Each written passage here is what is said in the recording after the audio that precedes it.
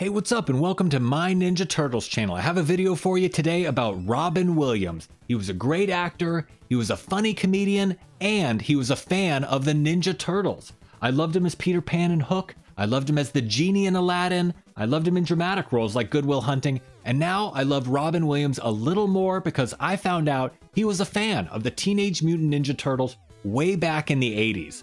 And I found out on the Turtle Tracks podcast. It's a Ninja Turtles interview show hosted by Brian Van Hooker. And his guest was Judith Hoag, the original April O'Neil from the live action 1990 TMNT movie.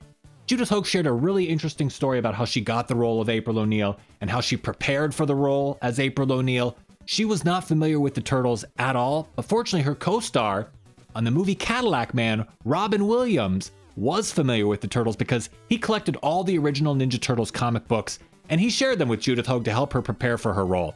Here's a clip of Judith Hoag explaining she didn't know who the Ninja Turtles were.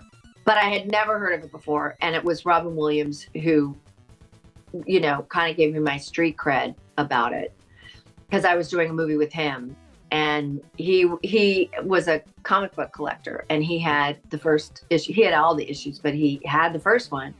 And when he found out what I was doing, he just thought that was so cool. Wow, that is so cool. Robin Williams shared his copy of the Ninja Turtles comic books with Judith Hoag. I wonder if he had a first print of number one.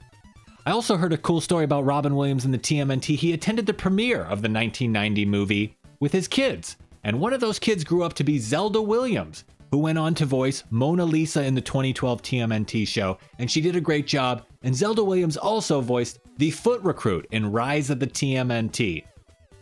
Robin Williams was a really talented guy, and I can't imagine how crazy it would have been if he was cast in a role as Shredder or another character in a Ninja Turtles project back in the 90s. And I just wanted to say from one fellow Ninja Turtles fan to another, rest in peace, Robin Williams.